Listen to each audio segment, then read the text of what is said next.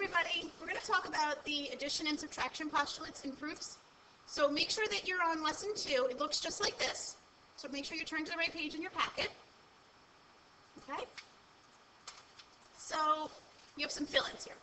We use the addition or subtraction postulates when we are given too little, either our sides are too short, or too much, our sides are too long, of a segment, or it could be of an angle.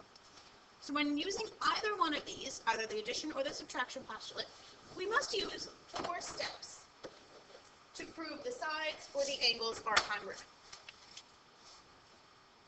So first we'll talk about the addition postulate. So triangles overlap, so either the entire triangle or maybe just the side of the triangle. And if we're only given a piece of the sides, we have to use the addition postulate. So let's take a look at an example. All right, so here we want to prove triangle QRS is congruent to triangle TUV. So you can see here we have in our diagram that we took it out so that you could see it better. So we have Q, R, S. And T, U, V. So we'll leave it in the diagram as well as set aside so that you can see it. So we are given here QT is congruent to VS. Notice that's only a piece. So that's where we're going to need to use the addition postulate. We don't have enough. Okay. QR congruent to TU. So if you want to see it here as well, QR congruent to TU, that's enough. And RS, that's here, congruent to UV. So if we draw it on the ones that are separated, that's here. So that's good too. We have a whole a whole side. But this first one, this QT congruent to VS, we need to use the addition postulate. So let's look at how that would go. So we said there would be four steps. So the first step is to state your given, QT congruent to VS. Your next is you need to see what the overlapping is because I'm going to be adding that to both sides. So if I look here in the overlapping, it's TS. That's my overlapping piece. So I need to name that congruent to itself. And we know when a quantity is congruent to itself, that's the reflexive property.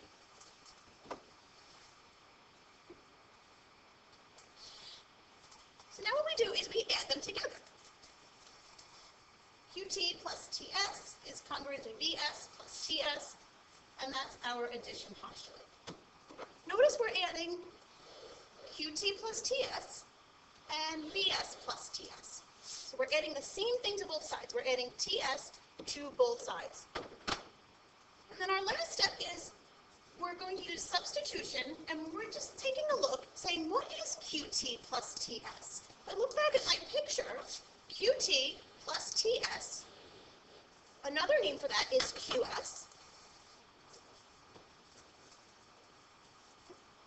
And then I have VS plus TS. We Look back at our picture again. VS plus TS.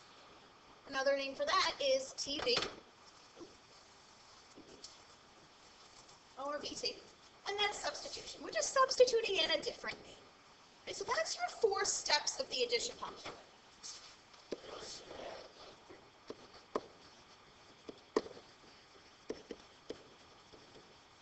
Now that I have a side, go back to our other givens. QR congruent to TU.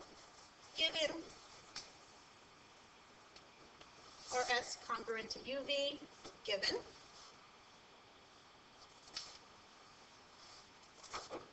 This gave us a side, this gave us a side, and this gave us a side. So we can say the two triangles are congruent to each other because of side, side, side.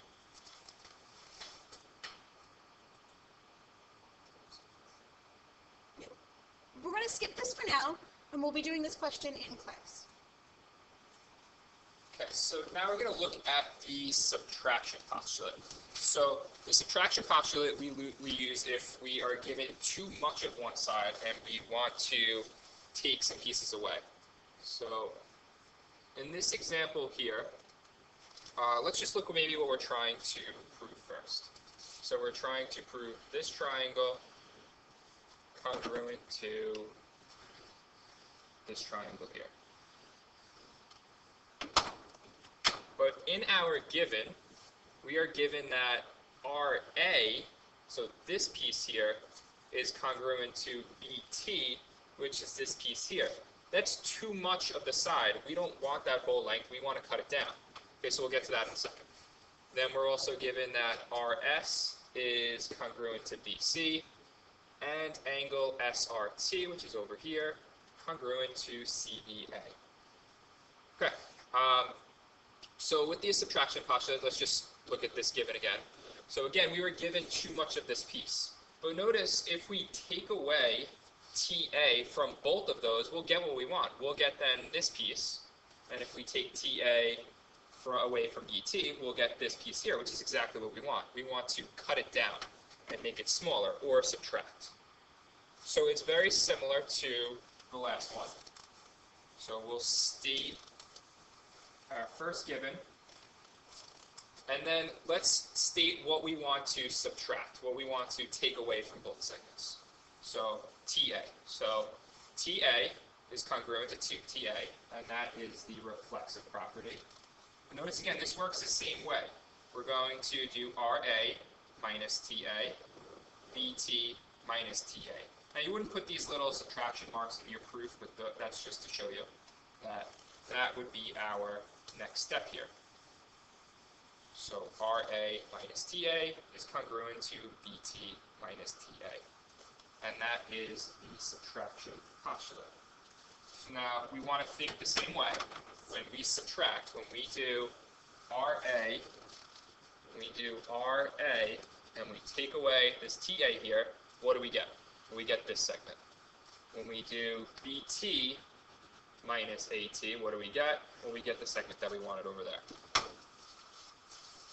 So what do we want? Well, we wanted RT to be congruent to BA, so when we subtract TA, that's what we get, and that is substitution. And then after that, we're just stating our other givens.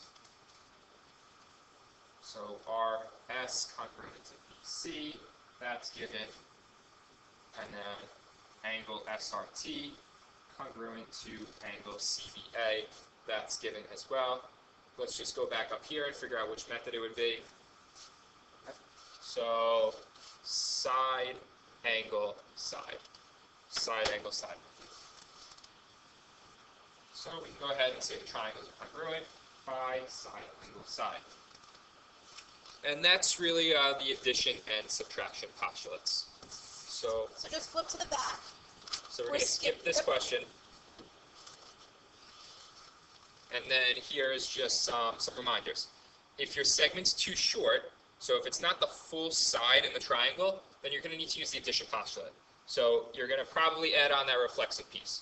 So given reflexive addition substitution, and now if your segment's too long you need to cut it down, given reflexive subtraction substitution. So uh, we'll be practicing that tomorrow in class.